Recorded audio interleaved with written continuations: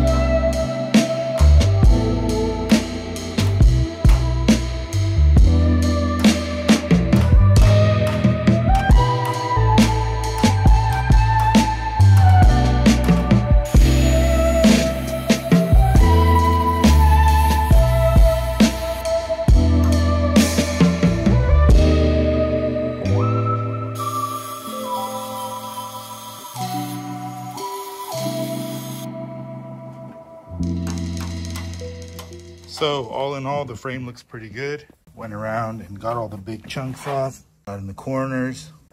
The rest of this, the uh, powder coater will take care of. And I just kind of wanted to make sure that everything that I could see, I dug out and the big chunks still's got some shit ton of powder coating on it, but this stuff was pretty tough except for like where the grease was at. It was nice and soft because the grease had penetrated it quite a bit, but where the there was no grease. This thing was hard to get off. The only thing I see is concerning is on these brackets. You see right here, it's got some weld with some some brazing rod right there, both of these. And then there's two holes right here that looks like they hooked on to pull because that wouldn't be a common place to to tow from, but maybe it got towed at one point and bowed these out, but these are supposed to be nice and flat. And I'm not sure if this is some heat. This orange stuff under here is like heat, some heat um, staining, you know, from from heating this up or not, but we're gonna have to measure measure this frame and make sure everything's copacetic so we're not fighting a bunch of alignment issues on the finished product, but overall it's pretty nice frame real convertible frame you can tell by the um, by the extra reinforcement on these on the top, if you look from the other side, this plate right here is on these is um, unique to the convertible, I believe. Don't quote me 100%, but I'm pretty sure that's what that is. So all in all, pretty decent car except for some shoddy repair work that somebody did on it before, but overall not a not a bad car so far. I had to hammer out some flatten um at a blacksmith some metal back here where it was bent but these are common to bend back here. They're pretty weak on these on these back frame sections of these impalas. They're they're not real strong. They're kind of thin. Back here a lot of guys will go ahead and run a plate in here and just kind of box that in and make it stronger. Probably gonna do that. I'm not sure exactly what that is. Maybe for exhaust or something but might get rid of that or or leave it and figure out what it's for. But most likely we're gonna box all this in right there. So as you can see, the car's back, got the 58 back from the, the blaster not very happy with the outcome. This thing is just full of fish eyes and it doesn't surprise me because this thing was right next to a detail shop, which I didn't think about in the beginning. This thing just has a ton of fish eyes in it everywhere. Granted, it is primer and most of them will come off, but literally, like, I'm pretty, I'm pretty disgusted with the whole, with the whole job and the way it went. So now, so now what we have to do is we're, I'm today it's Saturday and I came in to load up the rest of the parts. I ended up bringing home the inner fenders, the fenders, anything that had undercoating on it, the fifth wheel pan, the skirts, ended up bringing them back to the shop and with a heat gun and just spatula, just scraping everything off. So now we're, we're, we're dealing with another powder coater.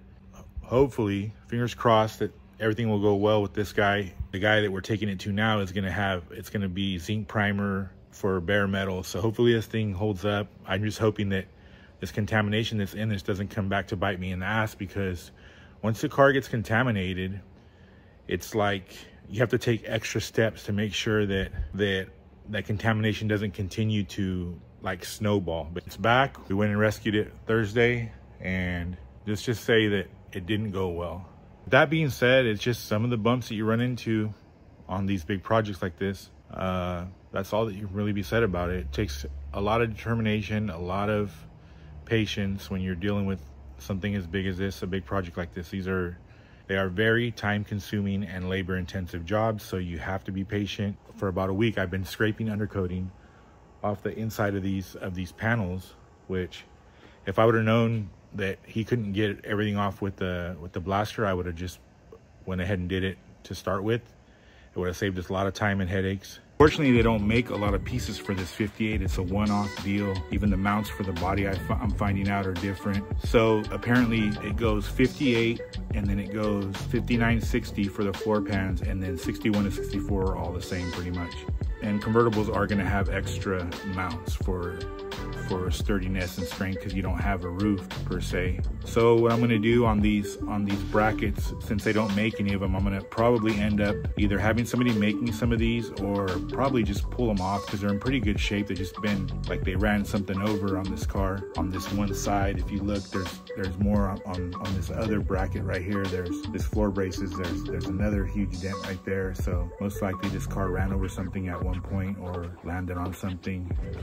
I checked the frame, it's pretty decent, nice and nice and square. So so yeah, these can probably get fixed. I will take them off and and hammer and dolly those on on a, on like a flat surface on a on a welding table or something like that, and then weld them back in and just just take my time and get get the the spot welds all drilled out nice. And we decided to go ahead and replace all these inner floor pans that they've already done. You can see right here, but they just kind of gobbed everything up on this thing, and they just did a really messy job in here. If we want to do nice red oxide this is all going to show it's you know it's going to be this satin sheen like this so it's going to show all these little dents like this and the owner wants this nice so if you know you, do put it up on a lift or or stick a mirror under it at a show it, it's all nice and nice and smooth you know. The idea on these old cars is to make it look like it's never been repaired before not like this. I mean this is just garbage right here. These cars that come from the midwest they're all kind of like this. People you know get a wild hair up their butt and you know want to make some money so they'll buy a car and,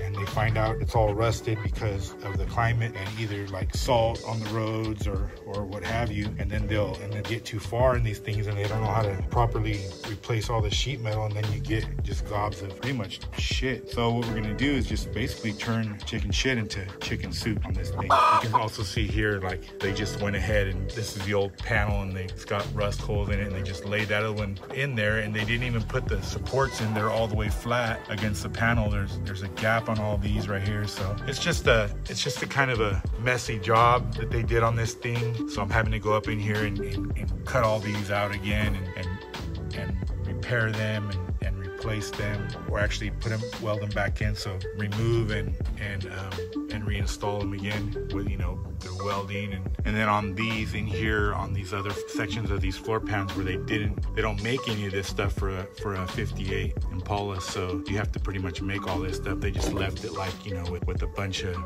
bunch of rusted metal and and we'll have to go in there and make these make these pieces and it wouldn't be that hard really just a little wood buck and and and bend some sheet metal over here and you can make these. These are pretty simple by hand right here so so yeah that's that's what we're doing on the 58 I've already cut the braces out of this back piece. I'll have to run a kicker from from this bar up here up there to the rocker and then I'll, I'll have to cut I'll have to cut the support loose right here and then I don't want this to flex either way up or down or you know come out of whack. So I'll, I'll go in there and they just kind of laid it over the top like I showed you on the outside and I'll go in there and fix that right so yeah we're gonna end up having to redo the floors again on this thing which it's probably a good idea to just do it right, do it right the first time that I get a hold of it. And even though it's a little bit more of a pain in the ass because you got to go and, and, cut off all these janky ass welds and, and, then repair all this stuff that they just hammered like hammered dog shit and go in here and hammer and dolly all that stuff flat. But it'll be a nice piece when it's all done.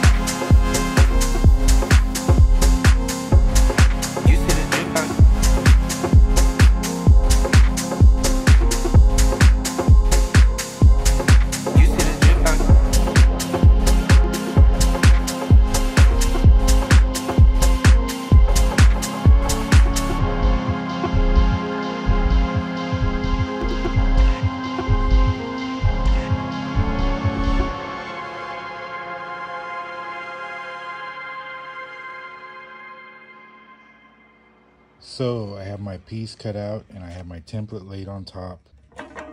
This is the brace for the right rocker to front cowl brace and it also joins the floor to the to the A pillar as well. So my plan is is to go ahead and trim out this template section by section and then trace onto the metal, onto the sheet metal and from there I'll go and get some appropriate size flat steel and then make some dies and then I'll get my press and I'll press this along with probably beating the crap out of it till it gets to the shape that I want and then I'll put it in there. Good thing is it's 16 gauge so it'll take some abuse but I should be able to knock it out with the first try hopefully and if not I can always get some more 16 gauge, sheet metal and, and start over because this stuff's all trial and error right now.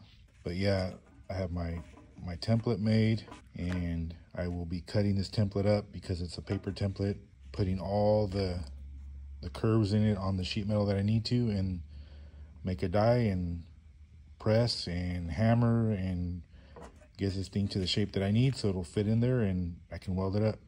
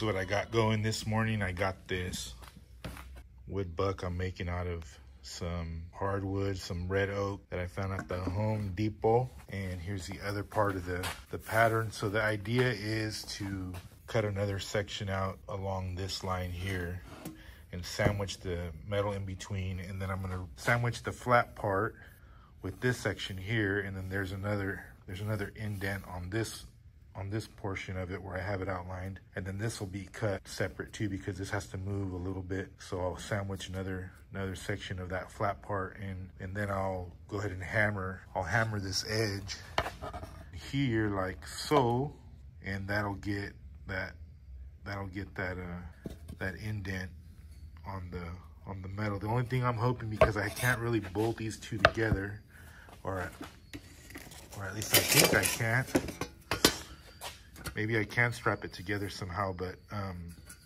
so this section goes down instead of just being like an in like a one solid indent. This piece goes down and then goes flat. So my thinking is if I bolt that, if I sandwich the a piece of wood in here, in this section here on the flat part, and then I, I sandwich this section which is flat in here won't move, and then I'll I'll sandwich this, but in here I'll put a, a piece in here and then hammer all this hammer all this down and then this will stay flat on the bottom and this will move. And then whatever else I can do, I can finish on like a hammer and dolly.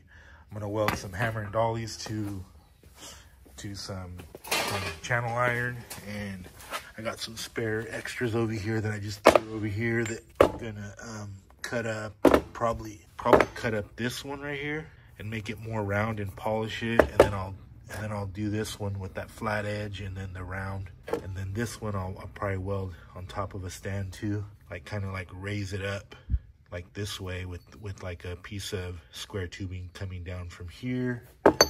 And then this one I'll probably cut in half and then put some stands on these and then weld those to some channel iron. And then I can clamp that down to like an A-frame or whatever I got these right here that I'm working on right now. Or I can make some. I have a bunch of scrap and then there's a whole scrap yard over here from the from the um, previous building. And this is all from the from the from the previous building that was here. These are all brand new buildings where I'm at now. You can see the prefab prefab buildings but the other buildings that were here was an old big old uh, ag ag equipment warehouse. And they had all these cool cool iron from the old building that they you know hung shit up on probably. There's some racks right there. There's some some big round tubing and then there's some channel iron that I found over there. If you see it's against the wall. And then I found this other piece of tubing here.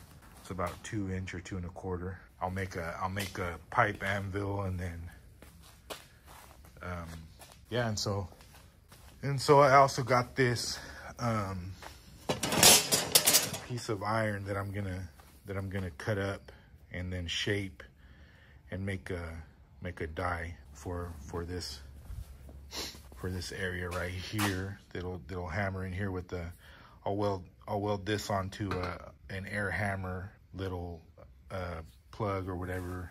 It takes a little time to do these videos so I wouldn't mind if you would hit the little like thing and hit the subscribe and don't forget that notification bell so that you can be updated whenever I do do these videos. Got that fitting pretty good on there. I do not say so myself. I probably won't get all the way into here. I should have made that a little flatter right there. Kind of missed the mark on that, but you know, I could just hammer less in there and I don't think it'll get all the way in there anyway because it's gonna be hard to stretch this 16 gauge.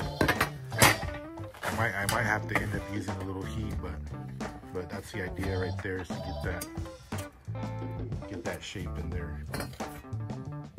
Voila. From years of doing body work in Bondo, shape shit. Shape it. I still got a little bit to go right there. I'm gonna make that nice and doit. And I gotta like get the rest of that little crack, that little butt crack in there right there. And then I got a little crazy with the with the saw, my little Dremel, my little Dremel vibrator. Freaking did the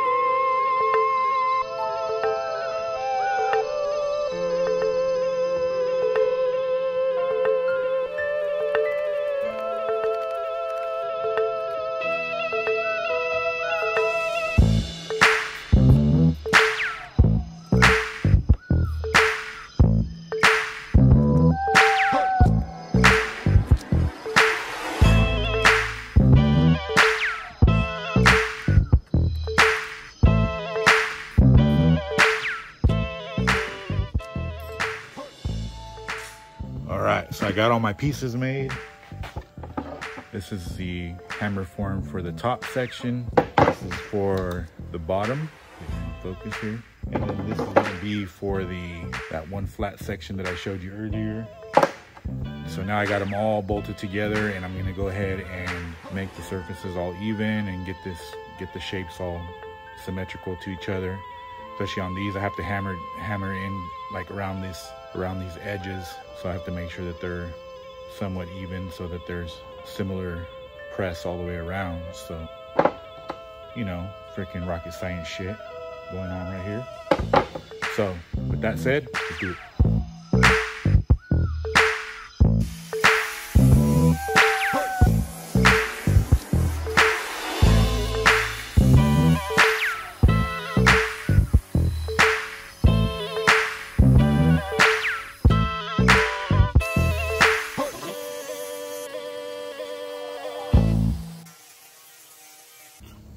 The next step is to clean all that bullshit up and then I will clamp the whole piece with their wood forms to the to the 16 gauge right here per the pattern.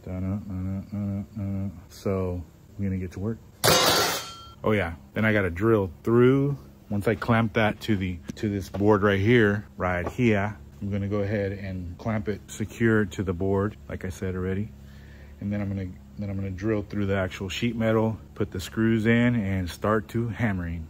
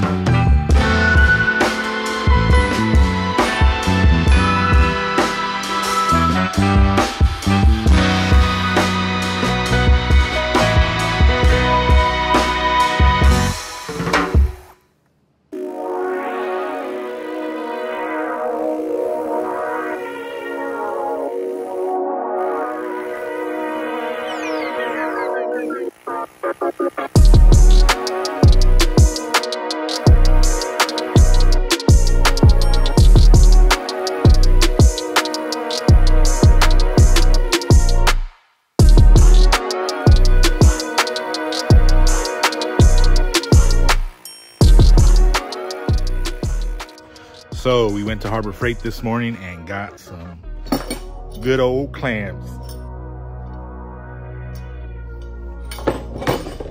Got those deep throat clamps. Harbor Freight, don't hate. And I also went to my storage and I picked up Snap-on clamp. And I found some more dollies to make some more tools out of, homemade tools, so I can clamp this thing down.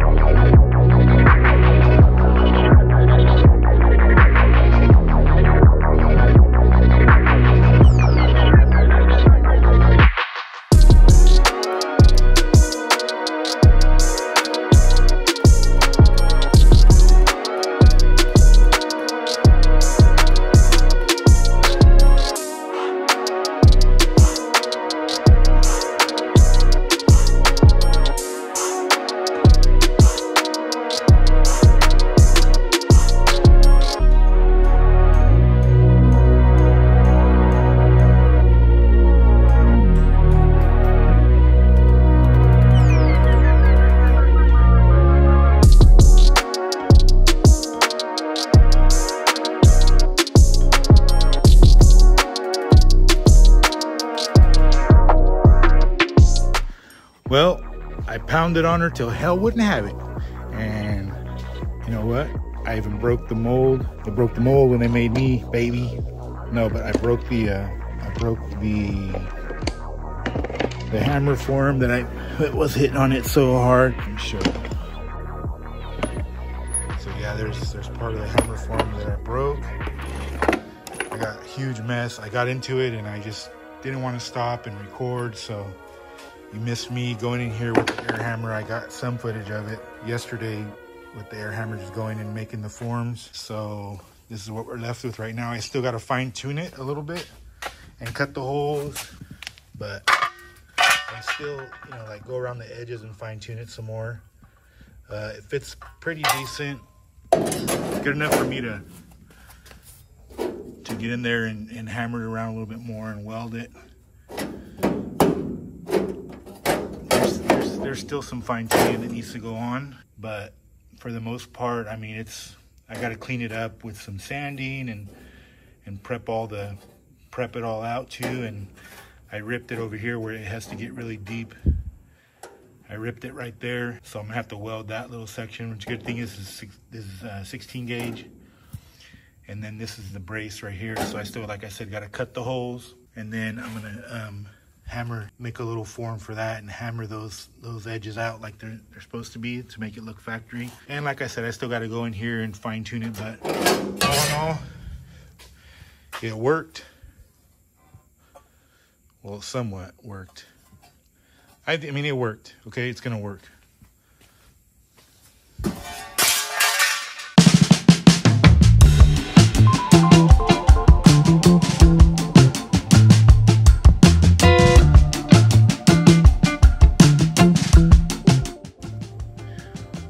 After beating on this thing for four hours straight, just planishing and hammering and using the sledgehammer to get these these edges nice and nice and flat and get this thing up right here in this area because there's a little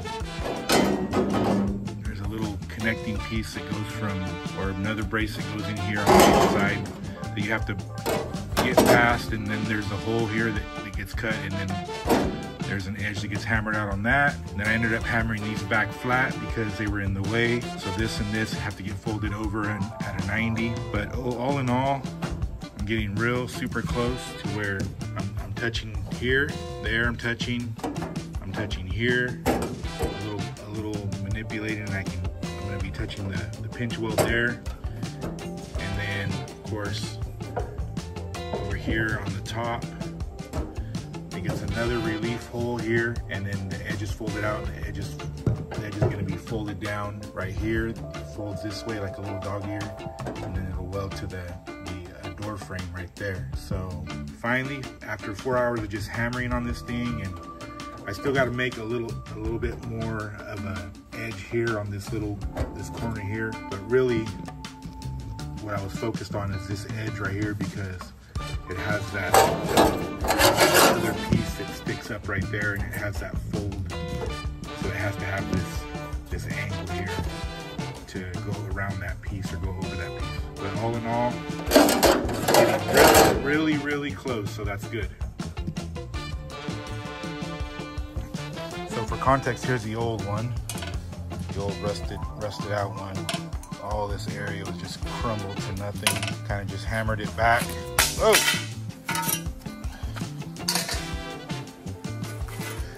So we, we hammered it back into place just to get a tape pattern. You weren't following, the tape pattern was done on a flat piece of steel and we made a hammer form, hammered it out, and then took it to the to the anvil. They're not really anvils, they're these big ass heavy duty A-frames that I got and just got some uh, got some iron C channel over there on the ground and just hammered on these things and got them into shape where they fit and it and it actually looks pretty factory. I mean, other than like all the million little hammer marks. And I could pick and file this thing and I and I started to, you know, but this thing's not even seen. The kick panel literally goes right over that. So you can't even see it. So, and then this part all gets covered by the rocker and the floor is right here. The floor comes right here and does a 90. So this is under the car. And then this is the only thing that's exposed is like from here to there. So really all that's going to be kind of hammer marked is that you're going to see is up here if you take the if you take the kick panel off. Nobody's going to drive around with the kick panel off. So if anybody gets on me about, oh, I should have cleaned that up better, uh, verga.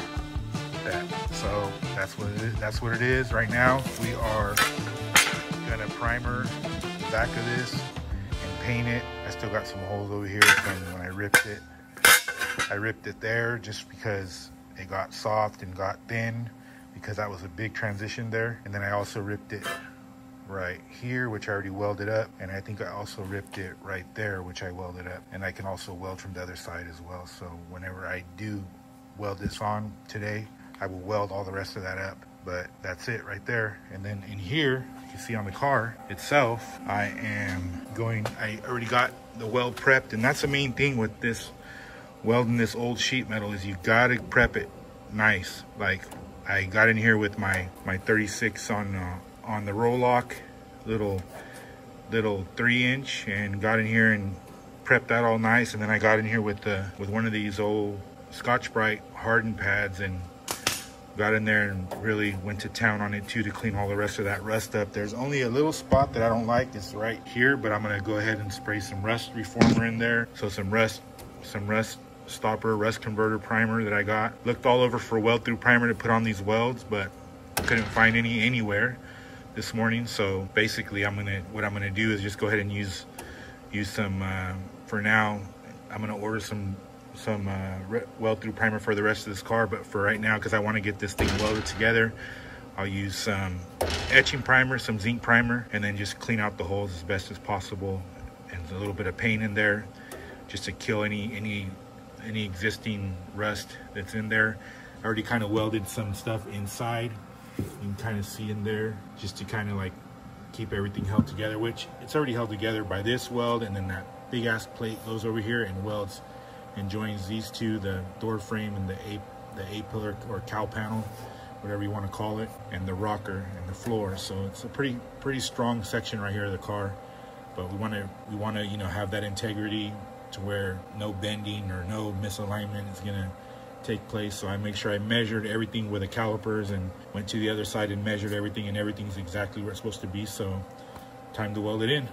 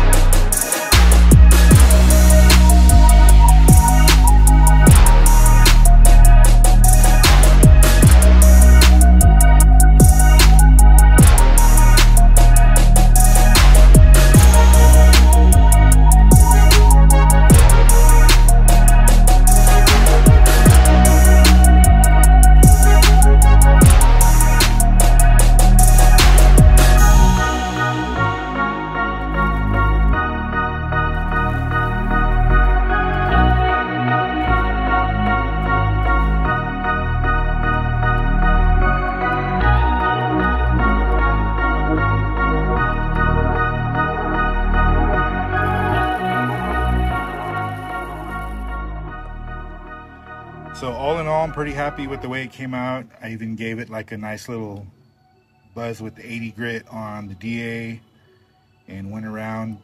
Of course, I didn't get in here and like pick and file every little spot and I could have done that. If it was something on the outside, I'd probably take a little bit more time and and actually do the finish on it a little nicer in metal. But overall, I'm pretty happy with the way it came out.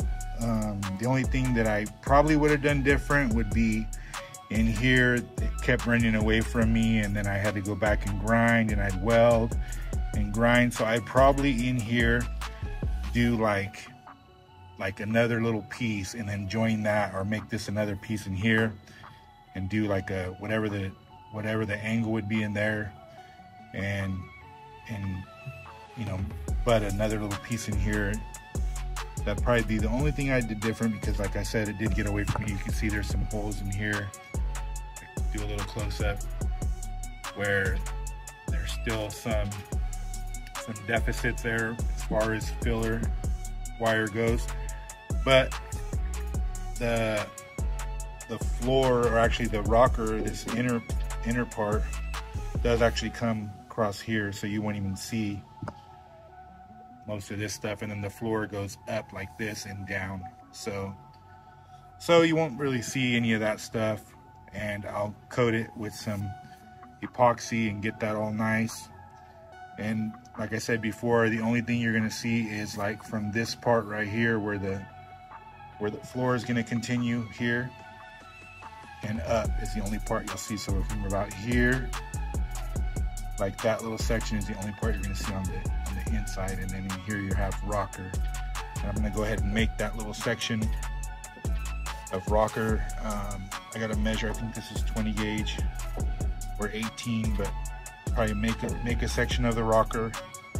And and I'll go in here and, and just finish off that rocker and then we'll get our floor pans and put them in there to to finish that. But um, I thought about buying the rocker because they do make it but I think the only section we're gonna need is right there. The other side we're definitely gonna need way more because there's more damage on that inner rocker so. There it is all its glory